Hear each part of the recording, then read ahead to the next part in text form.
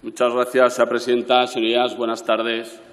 Fíjese si es grande la democracia en España que un grupo parlamentario que tiene como objetivo el no pertenecer a España, sobre todas las elecciones, viene a este Congreso, defiende el que se pueda injuriar, injuriar tanto a la jefatura del Estado como a los símbolos que representan al país, a España, y supongo que además de todo eso aceptará la votación, el resultado de la votación.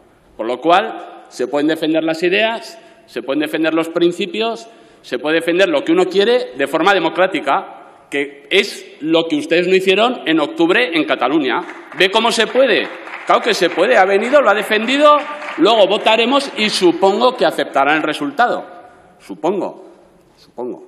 Sí que me ha llamado la atención que el Partido Socialista no haya, no haya hecho uso del voto en contra a esta propuesta.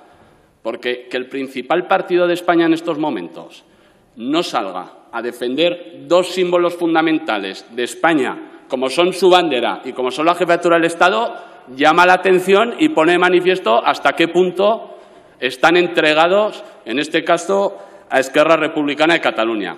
Porque evidentemente, evidentemente, ¿por qué son las injurias? ¿Por qué ustedes quieren quitar la injuria al rey o que uno pueda quemar banderas de España, por lo que representan, es que la bandera representa a España como país y nos representa al conjunto de los españoles y es una cuestión de respeto. Y la jefatura del Estado les da igual que sea un monarca o que sea otra persona, les molesta la jefatura del Estado como símbolo de la unidad de España, como símbolo de España. Y eso es lo que les molesta y por eso está tipificado en el Código Penal, porque nos representa al conjunto, a los que nos gusta y a los que no les gusta, al conjunto, y eso lo hace en cualquier país se hace de, esa manera porque son símbolos que representan al país y que son parte de ese país, de esa nación.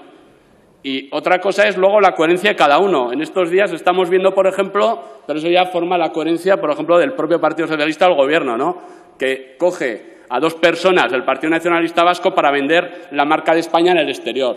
O sea, dos personas que dicen que su única patria es la entelequia que es Euskal Herria y que su única bandera es la Icurriña, van en nombre de todos los españoles a defender la marca España fuera de España. Pues evidentemente mal camino y además ellos unos incoherentes. Por lo menos a ustedes yo creo que hay que reconocerles esa coherencia que vienen aquí a defender en lo que no creen, que es en la bandera de España y en la jefatura del Estado. Nada más, muchas gracias. Muchas gracias, señor García.